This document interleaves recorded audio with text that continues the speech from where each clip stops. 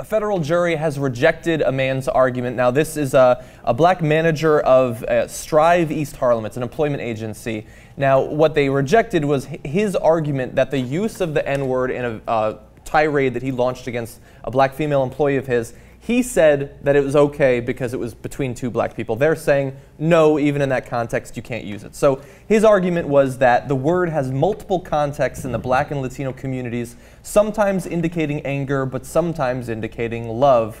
Um, now, Brandy Johnson, this is the 38 year old woman that back in March of 2012 he launched the, the tirade against. And ironically enough, he was attacking her because he felt she was being unprofessional in the workplace. Oh. Um, he dropped the N, uh, N bomb uh, multiple times there. She says, I was offended, I was hurt, I felt degraded, I felt dis disrespected, I was embarrassed. And so he made the case that this is context and culturally dependent, and the federal jury is saying no, and they awarded her fairly massive damages, actually. Okay, so I, am I'm, uh, I, am curious as to what you guys think here. First of all, they gave her thirty thousand dollars in compensatory, and then uh, and then they gave her, I think, two hundred fifty. Yeah, two hundred fifty thousand dollars in punitive. Wow. I'm sorry, that was in yeah, 30,000 was punitive for some reason. 250,000 was compensatory damages. Yes. Which is a lot of compensatory. She was making yeah. a good living. Yeah, yeah apparently. So which I'm going to get back to in a second because I, I, think that's super relevant to the story. Uh, and we have a policy here at, at Young Turks to say the N word when we're quoting someone who said it, right? And Carmona, the, the guy who was accused in this case, the one who made the argument, look, we sometimes you say it out of love. And he said, look, sometimes you say, this is my nigga for 30 years right? Meaning this is my boy, this is my friend, etc. So it depends on the context. And then they ask them, well, did you say it out of love to her? You know, mm-hmm. she seems to have cried 45 minutes in the bathroom, right? And and obviously you were berating her. And he said, I did, and that's what we do here. We do tough love, okay? And so it seems simple, right? You shouldn't use that word, especially when you're berating someone. It doesn't matter if you're black. That seems like that's what our gut says, right? But wait till you hear the rest of the case. Drop it.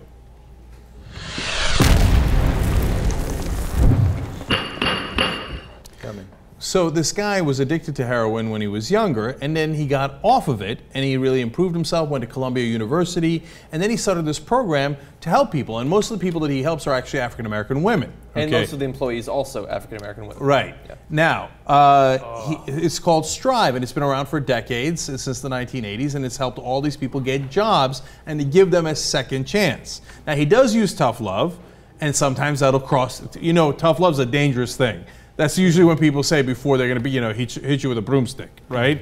so, so, and I don't know. It's an open case, right?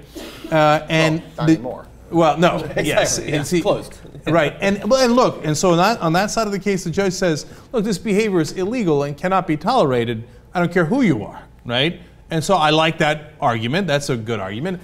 On the other hand, what the jury didn't hear is that the woman suing uh, had a previous conviction for grand larceny that required her to pay about $100,000 in restitution.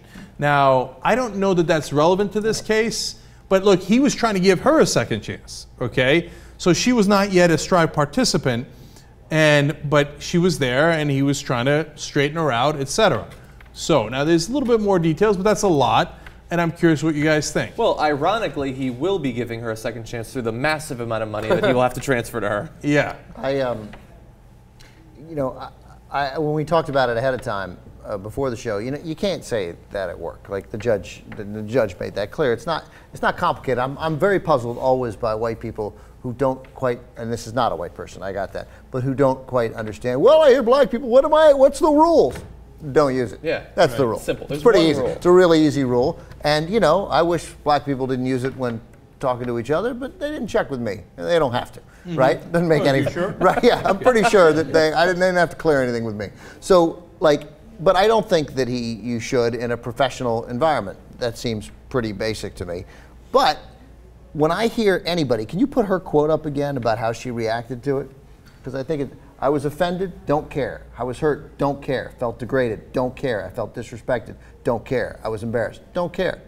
Life is hard, man. I don't care about any of those things. I care about whether he sort of uh, discriminated against her that made her advancement more difficult. If he did something in, you know, like we, obviously we're not talking about sexual harassment, but if there's continued harassment that made it impossible for her to move up or achieve something at a job, you get born in America, you don't have a right not to be offended. That's tough break for you. The flip I, side, yeah, no, Ben, those are all compelling points. The flip side to that is, if if he was white and he said, "Look, I'm gonna get you a job, so I'm not holding you back or anything like that, but I think you're an N-word, okay, and I'm gonna say that over and over to you."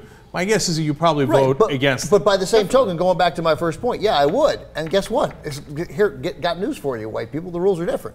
Uh-huh. You can't, you can't say it. Really fast. Yeah. I think the idea that look, I, I, as with you, my input really does not matter in terms no. of what black people say to each other. Or what but I think the idea that there's no cultural or, or contextual difference between a white person saying it to a black person and a black person saying it to, to another black person in the modern day, I think that that's simply ridiculous. Yeah, now, this is a workplace, and the exact way that it was used, the other words that were surrounding it certainly matter, but there is a difference.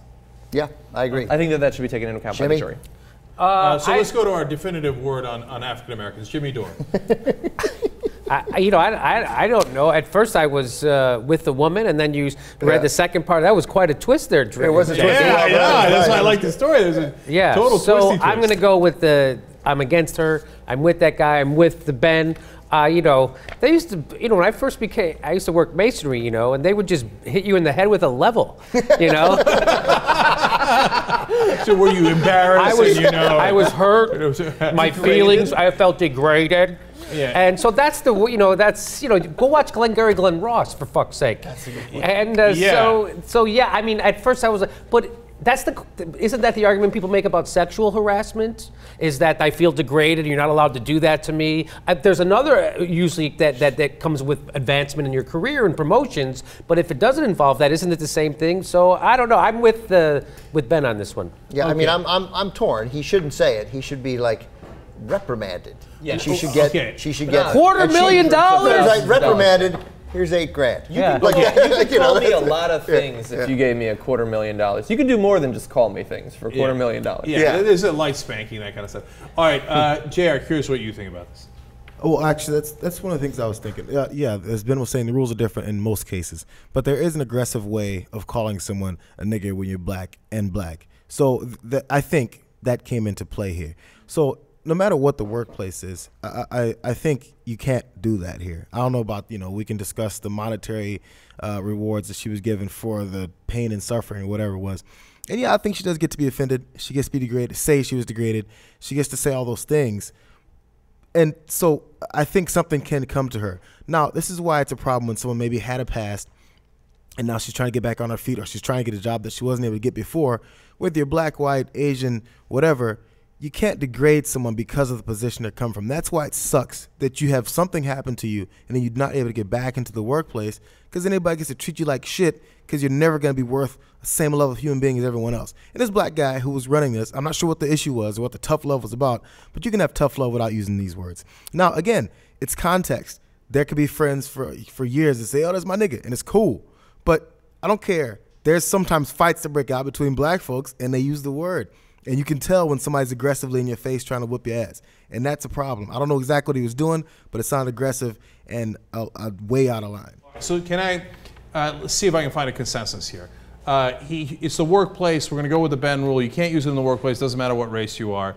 Uh, guilty. Okay. Yeah. Uh, but you know, uh, not $250,000 worth of yeah. guilty. He's trying to help people in general. He did it the wrong way. That's why he's guilty, right? And her, by the way, her, I'm not buying her in a lot of ways. She's the second time around, she went and recorded this and then said she went to the bathroom and cried for 45 minutes. I mean, she's thinking, hey, look, I did grand larceny for 100,000. Maybe this gets me more. And by the way, it did. Okay, maybe I'm the bad guy for pointing it out. I don't know. I don't want to embarrass her. It could cost myself $280,000. okay, but he did the wrong thing. He shouldn't have used that word in the in the work context forget the 250, 30,000 and we're done with it. Can I get agreement on that? I'll give you $30,000. Okay, Jimmy? I'll give you 30. John? I think that 30 is a lot of money. Okay, so you're I voting mean, no on that. I'm not going to give two years of my salary just you know because how, you feel embarrassed. okay. Two years of your salary. Do you know how important it is to, to have a, uh, we could, this court could have a consensus? I, I know, and you're ruining the consensus. J.R. Jackson. Okay, 30,000. Okay, all right, we have consensus. J.R., will you agree? 50, dude.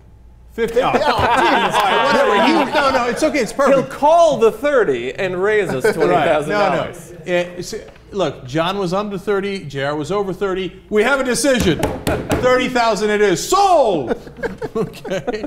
So, Uh, that's why the Supreme Court's here to adjudicate important matters like this.